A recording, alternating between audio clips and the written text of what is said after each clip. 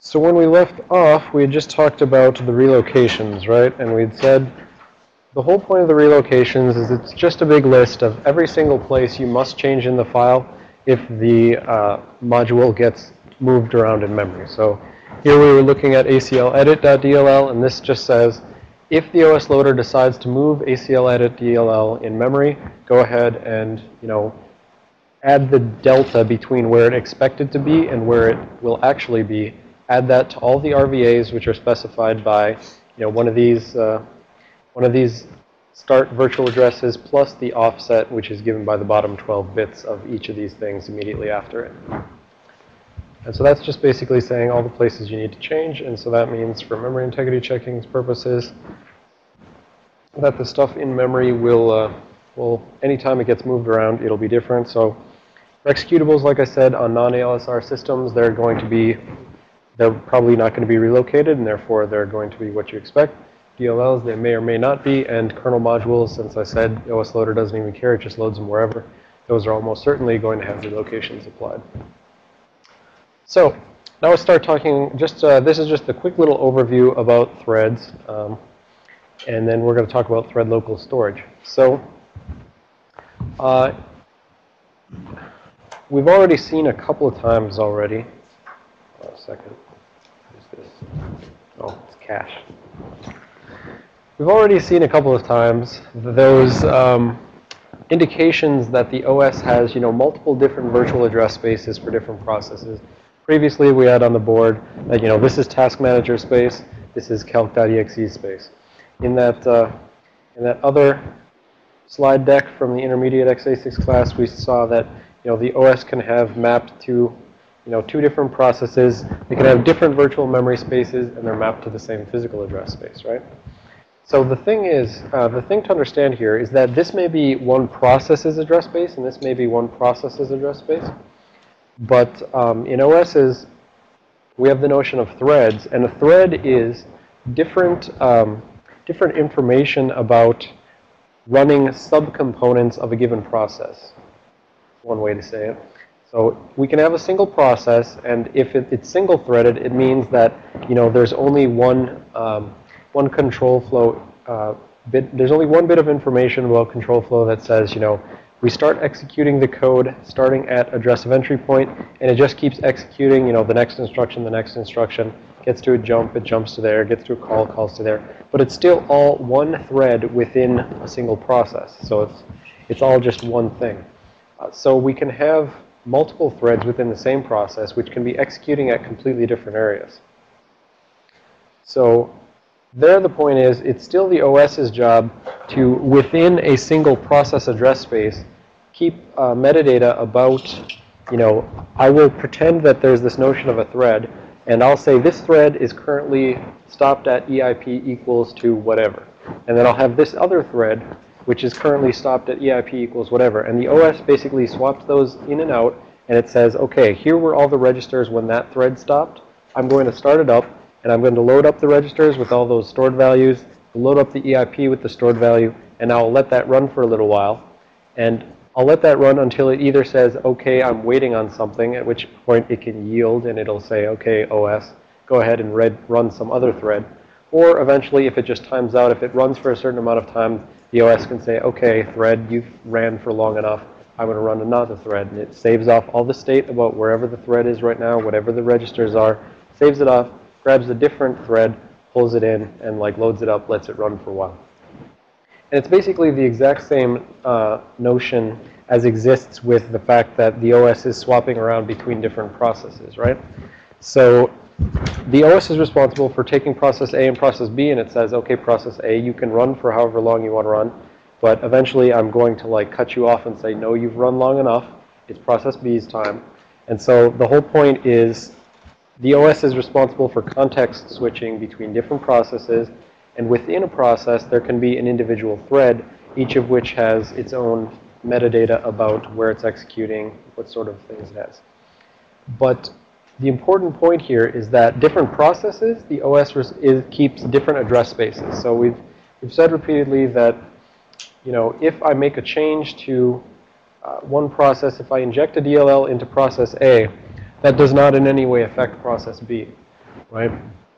So each of the processes has separate memory spaces. Now with threads, each of them is running within the context of a single process address space. So two different threads can see the same memory within this guy's process address space, but you know, the thread over here can't see anything about the thread over there. So threads run within a single virtual memory space for a single process, and processes each have their own separate virtual memory spaces. So that's the setup to start talking about thread local storage. So there's this notion of thread local storage, which is basically just saying, well, normally a thread can, two threads will all see the exact same data, you know, in the same process address space. You know, if they read the same virtual addresses, they'll see the same data. It may be desirable in some cases to say, I want some data which only this thread can see, and I want some data which only that thread can see. And that's what's called thread local storage. We have that in PE, we have that in ELF as well. Now, the reason that makes thread local storage interesting uh, for purposes of exploring PE, so again, it's just a data directory entry. We'll get you to the metadata about it. We follow that, and we get to this uh, image TLS directory. So the interesting thing here, well, I don't even know if those two really need, those two first ones really need to be uh, blue and that we care about them. But for normal use of thread local storage where it's just regular data, uh, the start address of raw data is basically saying, you know, oh, and I should say, yeah, as it says here, this is actually a virtual address, not a relative virtual address. So in this field, there's going to be an absolute virtual address. And of course, that means that's going to be subject to relocation. So if you move this around, uh, the linker, have better, have said, okay, for that a place right there where there's a absolute virtual address, that better get fixed up later on if you move it in memory. So relocations will have one entry which points at that. But anyways, the point is that's an absolute virtual address which just says for this thread, its data starts here. And then the end address is, again, an absolute virtual address that says for this thread, its data ends here. So rather than using a size, they're using a start and an end. But the very interesting thing, the thing we want to care about here is the address of callbacks. So this is a pointer, and I'm, I think it's, yep, it's also an absolute virtual address. It should say that.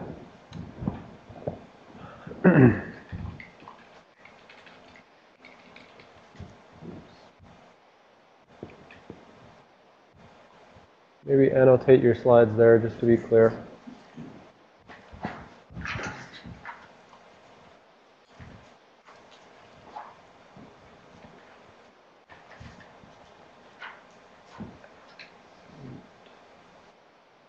Right, these other two are absolute virtual addresses as well, but uh, this is an absolute address that points at an array of these pointers to TLS callback functions.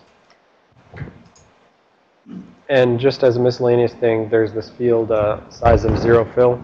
This is sort of like for the thread local storage, you can say like, here's the start of my data, here's the end of my data. And you can also do this uh, size of zero fill, which is like a BSS section tacked onto the end of it. So it's something you can say like, I'm going to allocate this much size. For that, the rest of that stuff, the size of start and end, that's actually space which is allocated in the file.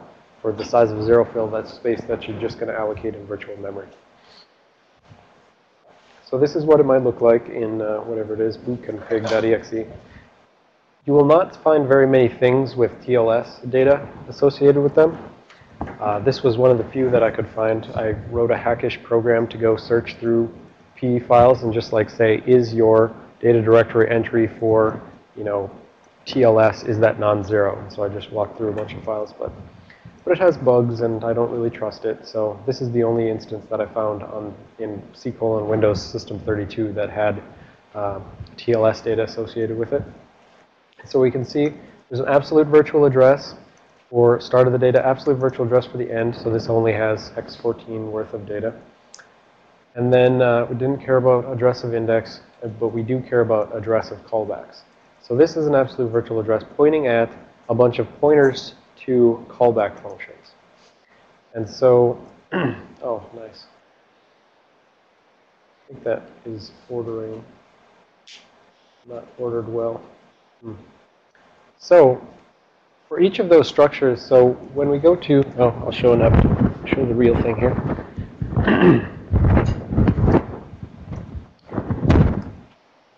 What's going to happen is this address of callbacks is going to point at an array of function pointers, essentially. And each of those function pointers turns out to get, that gets called before the address of entry point. So this is where I said there's the one caveat with respect to you can set a breakpoint at address of entry point, and theoretically that's going to be the first instructions, which, you know, malware or whatever else is going to be running. But if there exists TLS information, then the OS loader is going to go and find this address of callbacks array, go to that array, and call each of those functions in that array. Uh, and then once it's done calling those functions, go back to the address of entry point. So, I'm going to pull this up quick. So if you open up uh, PE view and go grab bootconfig, bootconfig.exe in C colon Windows System 32, as usual.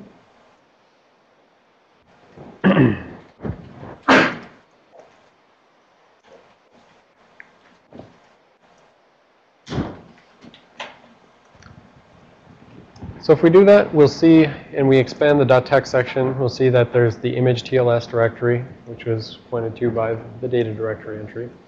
And it's saying at absolute virtual address 1011018, that's where we're going to find those callback array. Well, in, in order to find this in the actual file, what we want to see right now is where in the file is it actually stored. We want to go see those pointers to functions. So if the absolute virtual address is that, then we need to go find the base address and subtract that in order to get a relative virtual address, right? So we go into the optional header, and we find view image base, and it's saying it's 1, 0, 0, 0, 0. So we know we can pretty much just subtract off that first one from the absolute virtual address, and that means this relative virtual address is 11018.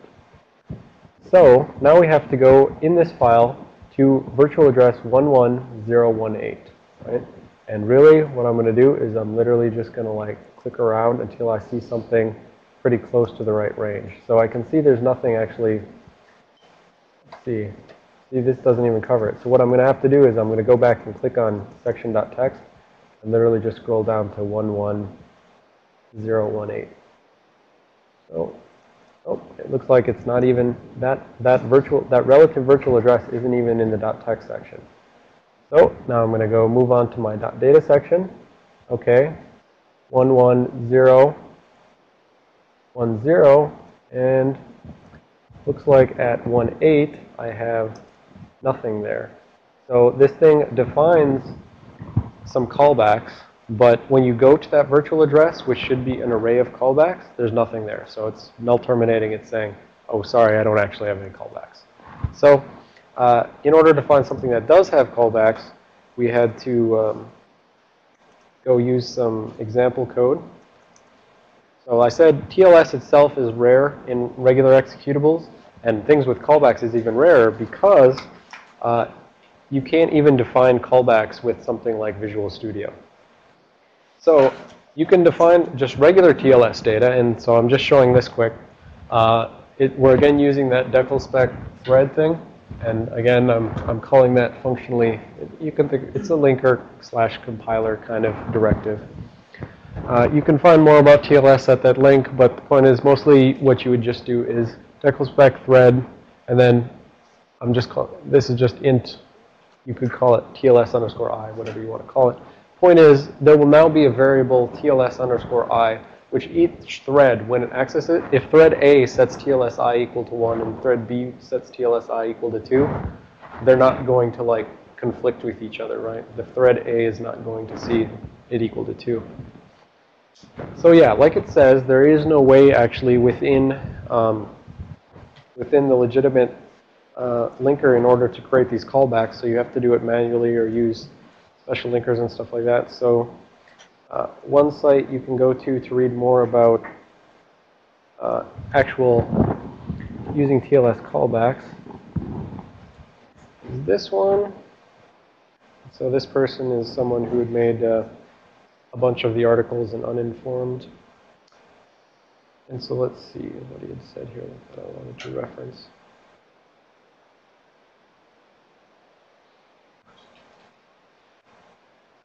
Yep. That's only mostly about regular TLS data. Right, this was basically just saying some hackery that you can use in order to specify uh, TLS callbacks. You're basically just literally defining stuff in your uh, code which organizes uh, data into places that you expect, and therefore then you can like fill in the TLS callback yourself because you very carefully placed function pointers into memory somewhere in your code and you're like playing tricks on the linker to make sure that the section gets put exactly where you want, stuff like that. But really what we're going to be using for this demo here is we're going to be using the stuff from uh, Ilfak's blog. Oh, yeah, that's, that's not it, actually. It's um, this one right here. So we're going to be using this code as our example of TLS callbacks to show that the TLS callback actually gets executed before address of, of main. Uh, address of entry point, rather. So this is from Hexblog. This is uh, from Ilfak. I shouldn't even try to pronounce his name because I'll get it wrong. Uh, and so he just had this very simple code, and he's saying in those comments at the beginning, you know, there's no standard way of creating a function callback, so he actually has to use a special linker in order to link this code in such a way that it eventually fills in that TLS callback uh, function, or TLS callback entry in the TLS information so that it points at the function pointer. Specifically, it's this callback thing. This is what he's putting into his callbacks. And so what he wants is he's going to call message box with hello world, and then he's going to exit process. Now, if an attacker were using TLS callbacks, and if you set a breakpoint on main, the problem is that this callback actually gets executed before main. So it's going to pop something up. It's going to execute code. And so as a reverse engineer or debugger or anything like that, you never want to like be analyzing some malicious code and have it be able to execute code before you start seeing what code is executed, right? So you have to be aware of this notion of TLS callbacks so you can check the executable beforehand. Because otherwise you're going to go in and say, oh, let's see, optional header, address of entry point, I'll set a breakpoint there and you will fail because they will have executed code which could, you know, mess with your analysis, trick you into thinking that it does something it doesn't do. So follow along on this one, and what we're going to do is, first we're going to use PE uh, view to open up uh, this special TLS crafted executable. So on your desktop under code, and then TLS callback, this is basically, you know, in the code thing that you copied from my transfer folder. And under TLS callback, there's a tls.exe. Open that up. And let's see, go to the image TLS directory. And you see the address of callbacks right there. It says 408BB0. Well, I'm just going to guess that 40000 is the base address. And so the RVA is probably 8BB0. So I'm going to click on .text, see if it goes to 8BB0. It does. Yes. Right here. So at 8BB0, right here. Okay, sorry, I'm probably moving a bit fast. All right, does everyone, okay, so yep, first get up your TLS section and you'll see that the absolute virtual address is 408BB0. And then once you go to the .text section and scroll down to what we're assuming is the virtual, the relative virtual address of 8BB0, you'll see in little endian order what looks sort of like a function pointer because it's 00401618. And so that looks roughly speaking like it could be somewhere within the range 40000. So we think that that's probably going to get executed first, but uh, let's pretend that we don't know about TLS callbacks and we're going to do our normal thing that we do with uh, starting up some malicious code we don't know anything about. Uh, we would run WinDbg. So we pull up WinDbg and then we go File, Open Executable. And then again, just navigate to, you know, the desktop code, TLS callback, tls.exe. So what's going to happen is the debugger is going to stop it before it executes any TLS callbacks or the address of entry point. So right now, you know, we're stopped at a breakpoint. This looks like what we normally see. So we're going to go ahead and set a breakpoint on the address of entry point. So back to the PE view. Got go in there. We look at the NT headers and then optional header. We find the address of entry point. So again, address of entry point is an RVA. It is not an absolute VA. So if we want to set a breakpoint on this thing when it actually loads, we take that RVA and we add it to wherever it's loaded in memory. So 14C8 plus, we're going to go see where it's loaded in memory in WinDbg. It says, okay, I loaded tls.exe at 40000.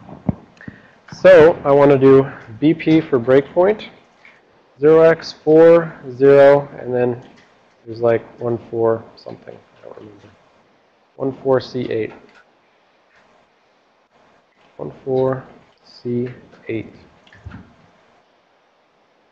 Right, and so it complains that it can't verify the checksum. That's fine. Right, so we went back to the, the P headers. We looked at the address of entry point. The address of entry point said, you know, my start of my code starts at RVA 14C8. And so we know that if this is mapped into memory at 40000, we just add 14C8 to that, and that's what we think the initial code should be started at. So now I set that breakpoint. I hit G to run, so to go. And the problem is I can see that it's run code before it hit my breakpoint, right? So the hidden message is the fact that some code executed before my breakpoint, but I set my breakpoint at, you know, the address of entry point. That's the first place that should execute, right? Oh, Nice. And we can see that my app init hooked it, that. I think I haven't taken that out yet. I'll do that next. Oh, that, that was my reminder. I forgot at the end of the day. For everyone who's doing the remote stuff, I said this at the end of the day in here, but go make sure you change your registry entry to get rid of that appinit IAT hook. Otherwise, no one will ever see calc.exe again.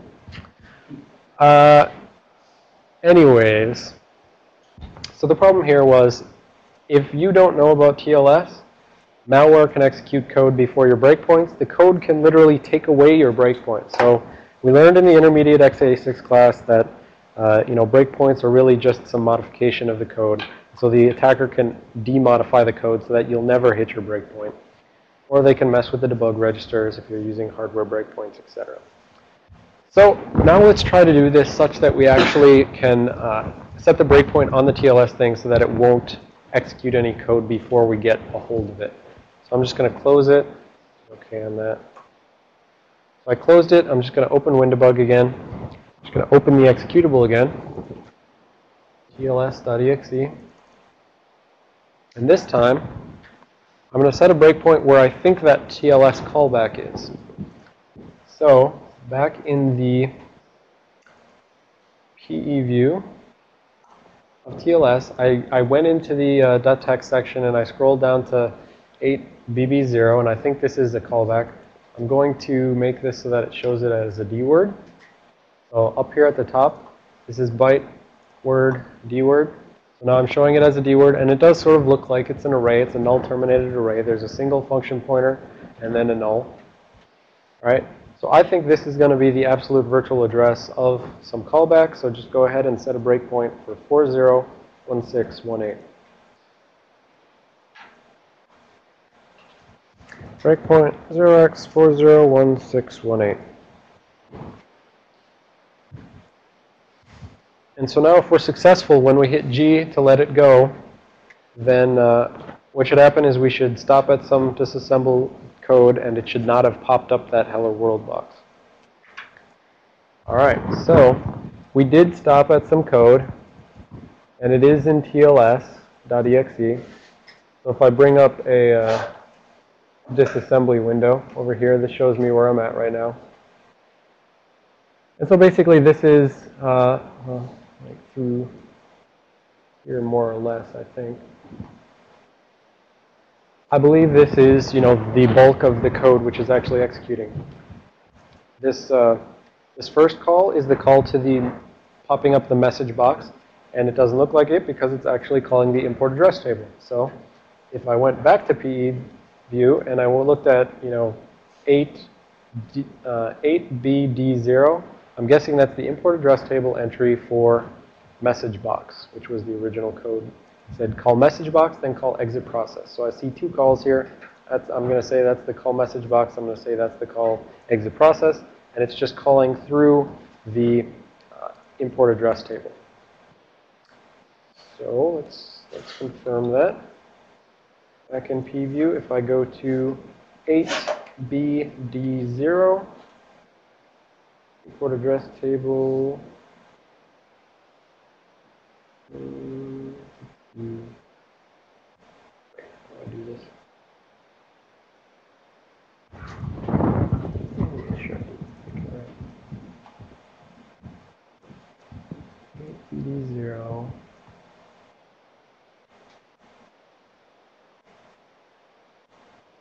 the import address table.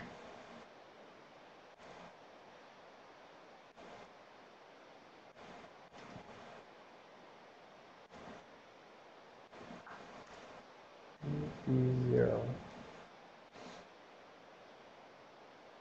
Hmm. Well, I could be wrong about that being the import address table, but let's find out by simply stepping into the call. All right, so I'm going to split the screen here. Then I'm going to, right now we're broken at, we uh, stopped at this push EBP. I'm just going to step into, step into, step into, going to check if it needs to jump. It decides it doesn't need to jump. It's going to push some parameters. And then it's going to call into something which I think is message box, but which is, ah, yes. So it's probably compiled a different way so that it jumps through this intermediate table. It's like compiled with intermediate linking. So we can see TLS plus 10A0. I bet that's the import address table. Right, so I end up in message box. So 10A0 is probably message box. So 10A0 is message box A. So this TLS.exe, you know, like it said in the original comment, he used a different linker in order to link it together. So it happened to be a linker which is using this intermediate linking table, which uses this intermediate jump, which then jumps using the data out of the import address table. So a little more complication there, but still the same basic point. All right, so again, right, this is the code we saw when we success when we went in, looked at the TLS metadata, found the address of some callback in there, then what we got was this function right here, which you know calls message box and exit process, and we never actually made it to main because it just exits the process. All right, so that was why you need to know about TLS, just so you uh, don't ever get caught by some code. So some packers, for instance, will incorporate a bunch of, you know, so if it's, say, a malicious packer as opposed to just your, your standard UPX, they'll incorporate a bunch of anti-debug tricks and things like that. And so one of those things they might do is throw in some TLS data so that the packed version of an executable has TLS data so that it jumps to some code and executes some code somewhere that if you don't know about TLS, you don't know that it ever executed that code. so some miscellaneous more stuff you can go read up on on your own time.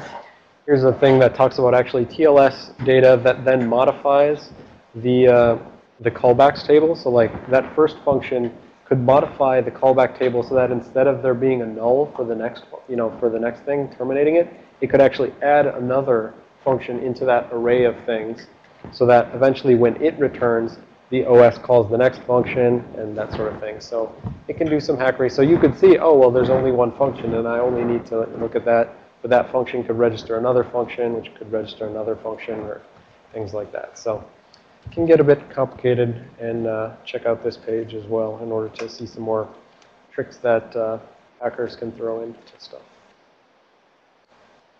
Oh, that's a fail. All right, next thing is, yep. In the data directory, there is a thing for resources. So talk about resources quick. Um, by way of the resource uh, directory, you get, sorry, by way of the data directory, you get the resource directory, which has uh, the two things we care about here are the number of named entries, and the number of ID entries. So resources are, uh, generally speaking, used for things like icon, well, I said before, icons, there's some various strings, there's potentially config information.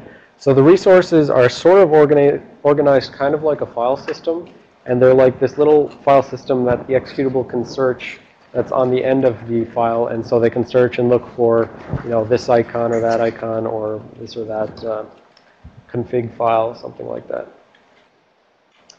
So, so we've got this uh, image resource directory, and this is like your header on your little file system. And so immediately after this, there's going to be, you know, however many number of named entries, which are going to be some number of data structures of the form that are either going to be interpreted as named entries or ID entries. And each of those structures is called an image resource directory entry. And the point is, each of those can either be identified by a name or an ID. That's why we have named entries and ID entries. And it's basically there's some number of name entries followed by some number of ID entries. I may be forgetting correctly on that. Yeah, and this is the, the structure of the uh, resource directory entry, which is highly unioned and structured up and all sorts of good stuff. But it turns out it's actually a little bit easier than it looks. So how it actually works is, so we can see actually there's two big unions. And each of those unions has one D word, two D words, and then a word. So, yeah. Basically, right. So they're just saying, I'm going to give like, so sorry, this is, um, for those who haven't seen it before, this is the uh, C syntax for like bitwise things. So it's saying like, this D word, I'm actually going to refer to the top, I believe it's Oh yeah, now I need to think of which way it goes. I believe this is going to be the bottom 30, yeah, the bottom 32 bits, or 30, bottom 31 bits, we can call by the name offset to directory. The top one bit is the data is directory. So the point is sort of, for this D word right here, if the top one bit of the thing is set to true, then data is directory and the bottom 31 bits are like some offset to directory, right? Similar thing going on up there. If the top one bit here is true, if it's 1, then name is string, and the bottom 31 bits are an offset to a string. And then, yeah, so this can be either then a name or a D word, or an ID, Yeah, so that's what this one was basically saying, is that that first D word if the most significant bit is set, and therefore it starts with an 8, that means the lower 31 bits are just a uh, offset to a string name. And so if the first D word, the most significant bit, is not set, then we treat it as a word-sized ID field. And for the second D word, so again, there's there's sort of two two unions here, where the struct is either you know the first D word, which uh, can either be if, it's, if this is true, then this is an offset to a string. Otherwise, if it's false, then uh, we just treat that as, a, uh, as an ID. So it's either a string or an ID, depending on whether the top bit is 0 or 1. And then for the second D word, if the most significant bit is set, means the lower 32 bits are an offset to uh, another resource directory. So remember, this is, it's, this is a resource directory entry right here. And if the most significant bit here is set, it's going to point to a resource directory, not a resource directory entry. And if the most significant bit is not set, it means we're finally to some actual data. So there's sort of four possible things here. And we'll, we'll just jump in and start looking at some uh, resources, and I'll come back to this slide in a second. All right. I'm going to look at, say, Notepad first, for instance. So in PEview, go ahead and open up Notepad. C colon Windows, System 32, Notepad. And if you see there's a dot resource section, dot rsrc. And if you expand that, uh, PEview will tell you, okay, well, there's a bunch of these different types of resources, and we don't necessarily know what those are yet. But if we start right here at the very first one, which I believe if we go look at the, I'm going to go confirm this. If I go to the data directory, the first offset RVA should be B0000. So go to here, see the resource entry in the data directory. It says the information about resources starts at RVA B000. So down here, this happens to be B000. So we start out with um, that image resource directory, as it's saying right here. And so initially there's a bunch of stuff, you know, those are all zeros, as you can see. And then we just have eight of these, uh, it's calling them ID entries because it's interpreting the fact that they're all ID things. But basically, each of those things below it is one of those 2D word, heavily overloaded uh, sort of structs within unions and stuff like that. So for the first D word, we said if the most significant bit is 1, then I should treat the least significant 31 bits as an offset to a string. But we can see in this case, the most significant bit is not 1. Therefore, we instead treat the least significant bits, actually the least significant word, it's not even the full 31 bits. The least significant 16 bits is just an ID.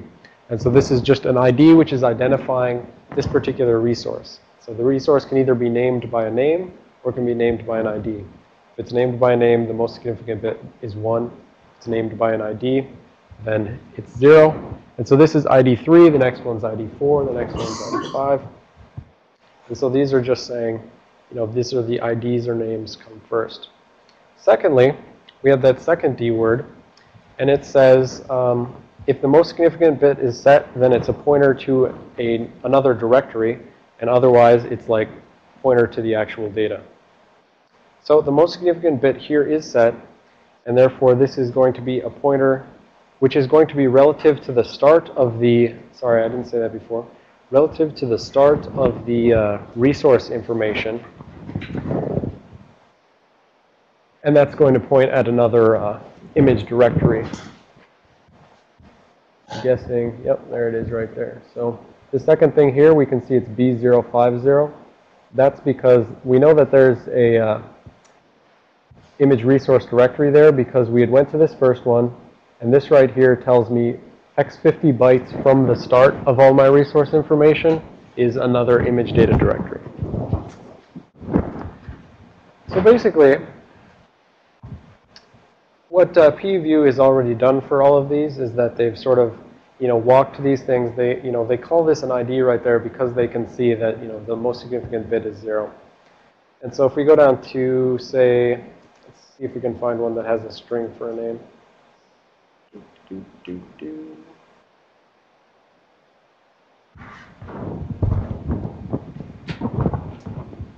there we go. Here's an example where uh, we can see that there's a uh, image, I believe, image resource directory right there. And then it says, okay, I've got one named entry followed by three ID entries. And so the first one is a name.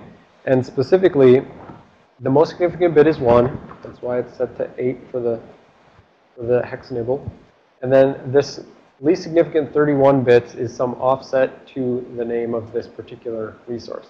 So I would expect now that if I go, now I'm going to have to like just guess and test this.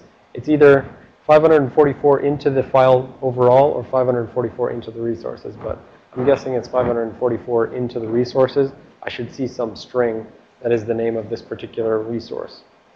So I need to go to B544. Too far. Oh, there we go. So here's like an entire chunk of stuff that's just strings. So B544, that right there is a pointer to the string. It looks like a pointer to a string to me. Let me actually Back here to make sure it's not. Yep. So that's going to be a pointer to a string. So now let's see if I can find that pointer. Four E zero zero one zero.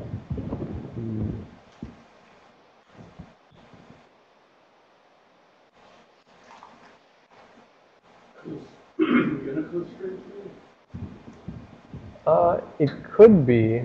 Yeah, that's a, well, that could be a Unicode string, except I don't see any like double null for null terminator.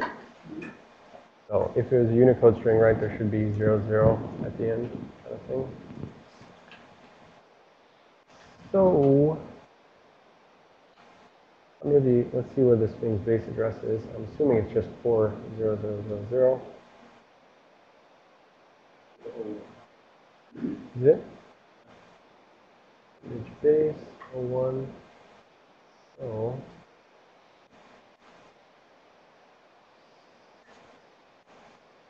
Yep, so I'm not, uh, well, let me see if my slides say, but I don't remember at the moment uh, how to go find the actual string for that resource.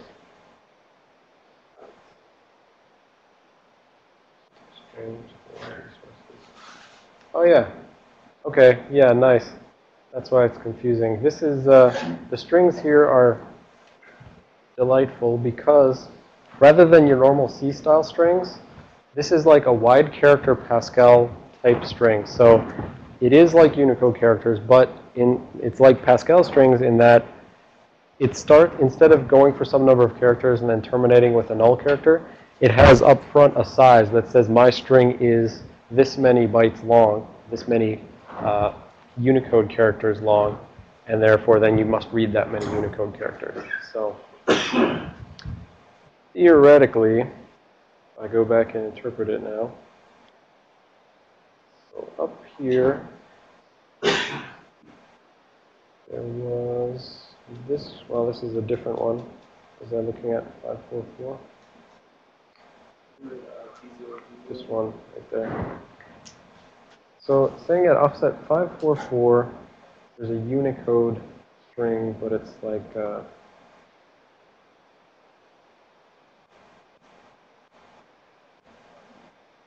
start with the size. How big is the size? All right, I'm not going to get hung up on this because this will just uh, will just get me into wanting to interpret it, and it'll take forever. Got to keep moving forward. Get to the fun labs. Of course, I say let's walk an example. All right, so anyways, uh, there's only one other point I wanted to make about resources, and this has relevance to Stuxnet again. Um, you can have like full other programs embedded in the resources. And so actually I want to show that at least with uh, Process Explorer, for instance. So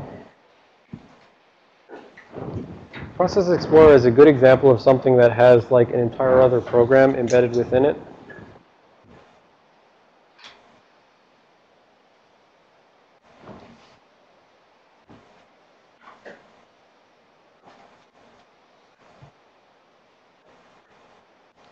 So if I look at uh, Process Explorer in PEview,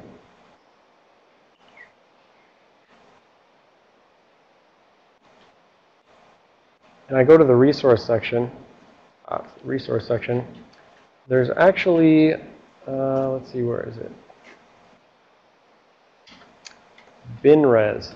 It has these things called BinRes resources, which, you know, it chose the name for them, but these are actually full binaries in, in it. So if I uh, show this in hex view, you can see it starts with an MZ header. Looks like it has a, you know, this dot, this program cannot be run from within DOS. And so what these actually are, are these are embedded uh, kernel drivers. So you have Process Explorer.exe, but Process Explorer needs to like run something in the kernel in order to find all the stuff that it looks at. So what it does at runtime is you double click Process Explorer, it drops out a kernel module, loads that kernel module up, and then the kernel module like communicates information down to it. So, you know, to make it nice and simple for you, they just, you know, bundled everything up so that it has the kernel module together with this exe just embedded.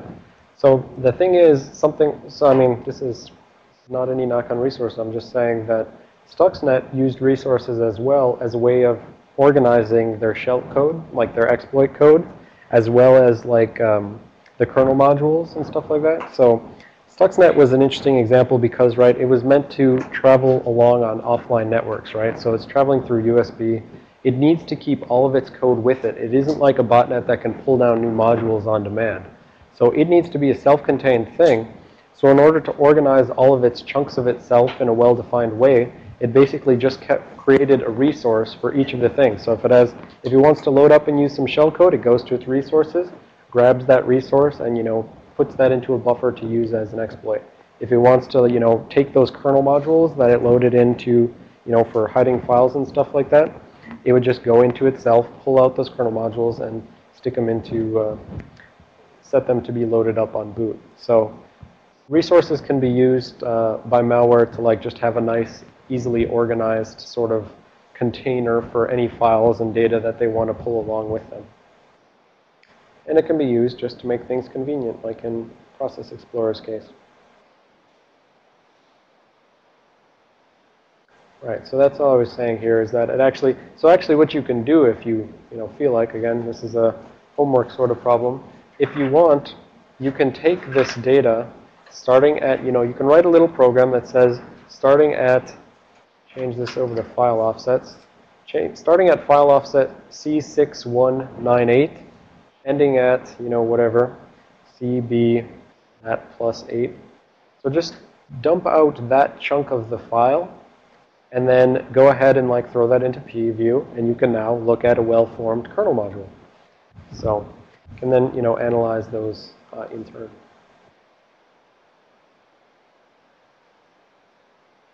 All right, getting into the very end miscellaneous thing, there's like two more things left to go in the PE format. Right, so there's load config, which is again data directory. Go to load config. Load config is just uh, this one big structure which has 32-bit versus 64-bit versions. And the three things which we care about in here are the security cookie, the SEH handler table, and SEH handler count. So security cookie, this is a VA, this is an absolute virtual address, not a relative virtual address.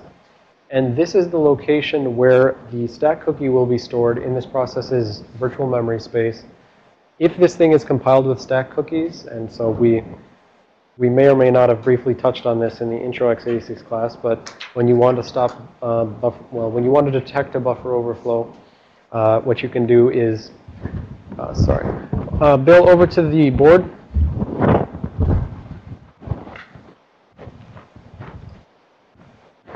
Right, so in the intro x86 class, we had done that one buffer overflow example, but I don't remember if I talked too much about stack cookies, because this is for the exploits class for later. Uh, but we knew that when we were doing those stack frames, you know, the first thing that uh, the code usually does is push EBP, right? So we always started with that saved EBP, and then we had, you know, locals here. Locals there, saved EBP, and then immediately before saved EP was the saved EIP, right? So if something, if something calls, you know, some function, the side effect of that call is that it pushes EIP onto the stack, right?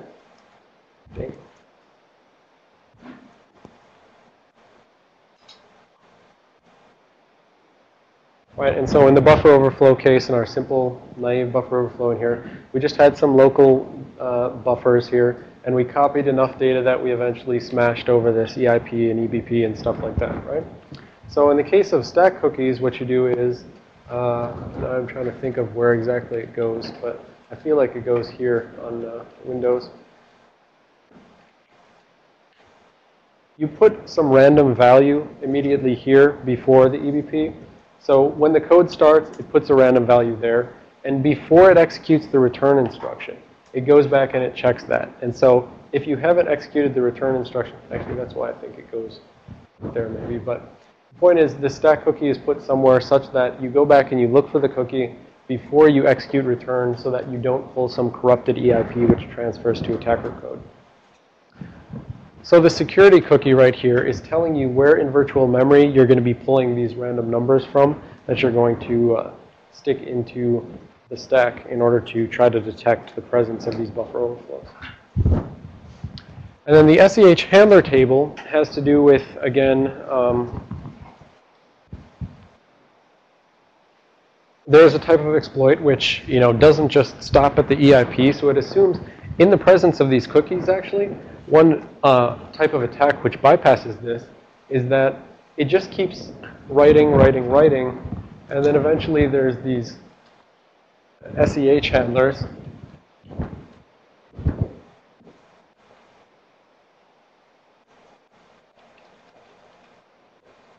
somewhere else on the stack, like way up farther, somewhere, usually towards the very bottom of the stack, essentially. So uh, if the attacker has a copy such that they could just keep copying like pretty much unlimited data until as far as they want, there's some corruption they can do to these SEH handlers, which eventually will redirect to attacker's code. And so uh, one way in order to counter this is to say, okay, for all these SEH handlers, I am not allowed to transfer to any functions that those specify unless those functions are already written into my binary. So we have a list of function pointers in the binary, and only at the time when it's about to execute an SEH handler, it will not execute that handler unless it's found in this table in the binary. And so that prevents the attacker from overwriting a handler address to point to the attacker's handler address. So the SEH table is an absolute virtual address saying here's all of the allowed SEH handlers, and the handler count is just saying, you know, how many of those you have to step through. So again, to learn more about SEH overwrites and stuff like that, see Corey's, uh, see Corey's exploit class, which will be taught in the spring, spring term. And the only way to specify that S safe SEH in order to uh, prevent those sort of things is by manually setting it in the link options. And again, the, uh, the GS stack cookie option is here in code generation buffer security check. If you set that to yes, it'll use some heuristics so that uh, in cases where the compiler thinks that there may be the possibility for a buffer overflow, it'll uh, stick in that stack cookie and have that checked before you do a return. All right, final thing in our P format exploration, the data directory entry for security. This turns out to basically just point at a digital certificate or yeah, a digital certificate, which is the uh, this well, it's the signed. Uh, it's the digital signature of the code, and so as we saw before, there's that DLL characteristics in the optional header. Wait, is it optional header? Yes, optional header. DLL characteristics in the optional header. Is it optional header? Pretty sure it's optional header. I can check that like so. And optional header. DLL characteristics, yes?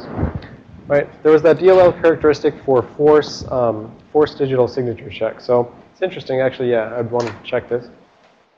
Um, Process Explorer, which I currently have open, it does have actually a digital certificate embedded in it. So Process Explorer is signed code, but it doesn't have that uh, DLL characteristic saying force a signature check, right? So this will, you know, so if you go onto like a, you know, Vista system or an or Win7 system, they may have it set to like, you know, allow, well, the point is they have the option that they can say only allow signed code to run, right? And so in that scenario, only code which has one of these digital certificates attached would be able to run. But uh, but by setting that force check, and this, I think this was Reed's point before, right? If I set this characteristic in the DLL characteristic saying, you know, you must check my digital signature before you load me, well, an attacker can, of course, just remove that. Uh, if you assume the attacker is modifying code, right, he can remove that force of a check. So, so a binary telling the operating system, dear operating system, please check my digital signature, that's not particularly strong. It's really about when you're trying to enforce the security there, the operating system has to be saying to all binaries, you must be signed or I will not run you. So, anyways, let's see what RVA the certificate's at. Certificate is at RVA 3FA600. So I'm guessing if I go into the data directory and I go to the uh, security field, which, where is it? I don't know if there it is. They're calling it certificate table here. I mean, the, the header files call it the security entry, but so 3FA600, that's just saying I got a digital certificate at this offset. So that's where digital certificates are stored if you ever want to, you know, go through and figure out the format and, you know, be able to extract them and verify them and stuff like that. and the rest of the data directory entries. So we've covered most of them at this point. Right, so we've Xed off pretty much everything that we've covered, including, uh, I'm Xing off the digital certificates one. So there's these couple other, like three other ones that I just like tacked on the very, very end of the things. These I don't consider relevant. So all of those are the things I consider relevant for uh, learning about in PE. And so this is uh, just a not fully formed but uh, rough rehash of what's going on with the OS loader at load time. Uh, we covered this, you know, piecemeal a bit. But, you know, when you double click on a PE file, right, you've got an executable. We're going to assume we're double clicking on an executable. The OS loader is told, you know, I want to load wickedsuiteapp.exe, right? The OS loader goes and finds that file on disk, and it starts reading its PE headers. It says, okay, well, I need to allocate uh, optional header dot uh, size of or size of image worth of memory space, right? So it knows, okay, I got to allocate this much memory space, and then it eventually goes to the uh, it goes to the section headers, and it says for each of those section headers, start at you know this size of or pointer to raw data. There's this pointer to raw data field in each of those section headers that says start at this offset in the file, and then there's going to be you know uh, physical size. There's going to be the size of raw data. There's going to be virtual size. So start at this location, read size of raw data, amount of data, and map that into memory. So for each of those sections, take a chunk of the thing off of disk and map it into memory. And then it reads the permissions on the section, which are asking for, you know, mark this section readable, writable, executable, pageable or not, things like that. So the first thing the OS loader does is it just gets all of that data from disk into memory for every section which is specified in the section header state. All right. Next, what it's going to do is it's going to say, all right, did I have to relocate this from where it wants to be based on its optional header dot image base, right? So if image base was taken already by some other DLL, you know, if you if you write a DLL, all DLLs are going, you know, if compiled with Visual Studio, are going to have the same default image base. So if you write two DLLs and you don't fix up their image base, they're both going to want the same thing. So if you load them both, one of them is going to get the address space, one of them is not. So if the OS loader finds that it uh, had to move a DLL or executable or kernel module in memory, then it needs to go find the relocation section in the data directory, go to the relocations thing, which is going to be that uh, array of, you know, virtual address and then, you know, offset from that virtual address. Go to all those locations and fix up their um, add in the delta of what you moved this thing by. So there's going to be a bunch, every single thing in the relocations array is going to be a place where there's a hard-coded address that needs to be fixed. So it needs to go fix those addresses by adding in whatever the delta is. If it's positive hex 1000 or negative hex 1000, whatever it is, it needs to add that to all those locations in the relocations. Next, what it's going to do is it's going to go find the import section, and it's going to say, I need, okay, this module requests the imports from ntdll.dll, user32.dll, whatever. It's going to go in there, and it's going to say, I see that, you know, you have this many DLLs specified. I'm going to go out and get that DLL, but I also have to go get any prerequisites that DLL needs. So if user32.dll imports kernel32.dll, I need to go recurse down and, you know, get all of its things. And so that was the, that was the hilarity seen with uh, depends.exe, right? So if the OS loader is trying to open something like Notepad, it may start by saying, oh, Notepad, I see you need COMDLG32. It says, oh, COMDLG, I see you need Advanced API 32. And oh, Advanced API, you need this. And so it's going to be uh, potentially recursing down and getting in a bunch of every prerequisite for every module which, which is a prerequisite of, uh, of Notepad. Yes, Chris?